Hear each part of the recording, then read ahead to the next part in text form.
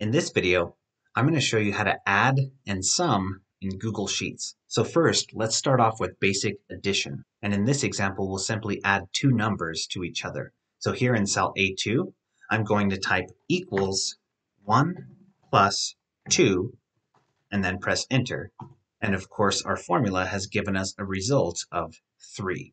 And so this is how you can add numbers in Google Sheets where you're typing the numbers directly into the formula.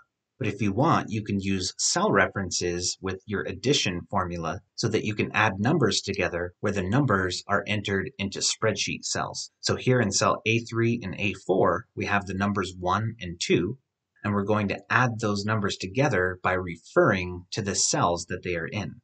So I'm going to type equals A3 plus A4. Now I press enter and again, our formula has given us a result of 3 because we're adding together cells A3 and A4.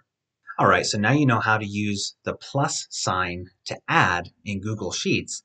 But now let's go over the sum function, which will allow you to automatically add multiple numbers together by simply specifying the range that the numbers are in.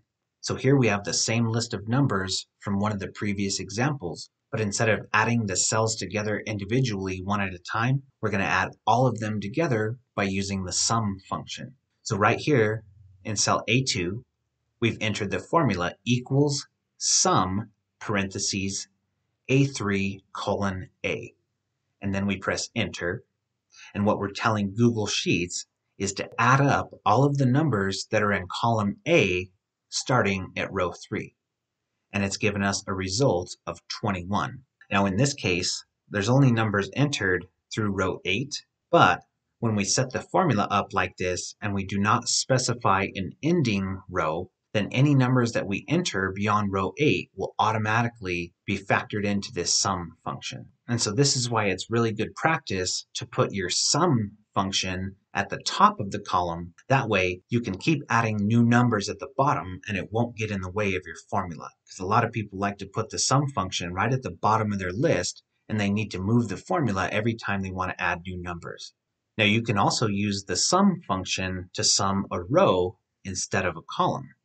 So here we have the same numbers entered into row 1 and we're going to add all of them together by using the sum function but we're going to refer to a row instead of a column.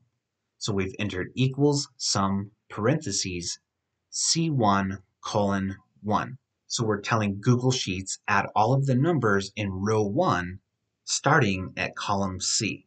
Now here's a really fast and interesting way to sum if you don't want to enter a formula and you just really quickly want to find the sum of numbers that you've selected. So here, I'm going to select the range B2 through B8. And as you can see, on the bottom right here, Google Sheets is automatically displaying the sum of the numbers that are selected. And if you want, you can use this Explore feature to do a variety of different calculations, but the default will be sum.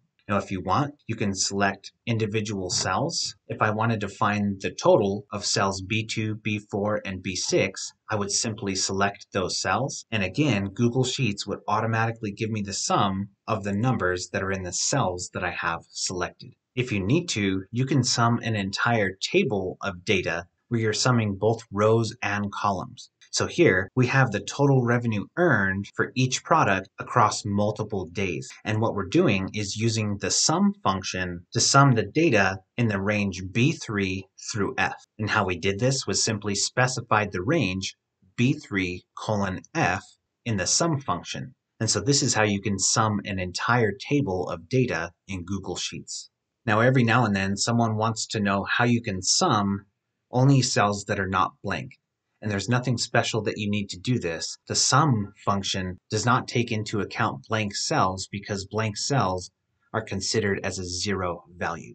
I hope you liked this video. If you did, please like and subscribe and have a great day.